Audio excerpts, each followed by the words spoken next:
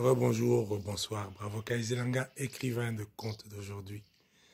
Je reviens sur ce thème de la distraction. Ce qui est dangereux avec la distraction, c'est qu'elle est très attrayante. Contrairement à ce que ce qu'elle dit.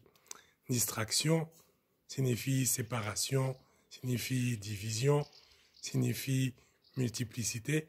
Et avec une multiplicité de choses, il y en a une qui est priorisée et une qui est minorisée, et c'est le désordre. Le problème avec la distraction, c'est que c'est une forme de séduction. Séduction sous le premier sens du terme. Sortir de la bonne voie. Donc en étant distrait, nous sortons de la bonne voie, la bonne ligne qui nous amène au plein accomplissement de ce que nous devons être et de ce que nous devons faire. Est-ce que c'est ce que nous voulons?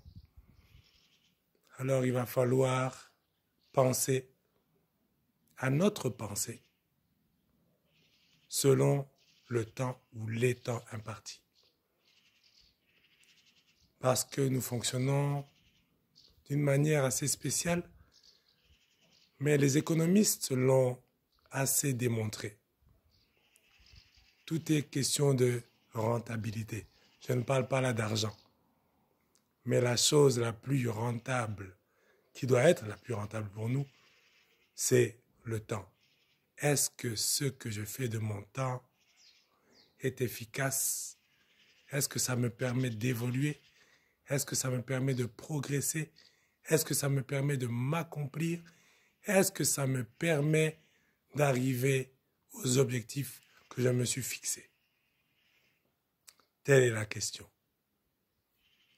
Après, la chose qu'il faut faire, c'est ne pas avoir de regrets. Alors jugeons. Bonne soirée ou bonne journée, selon l'heure à laquelle vous m'écoutez ou tu m'écoutes. À très bientôt.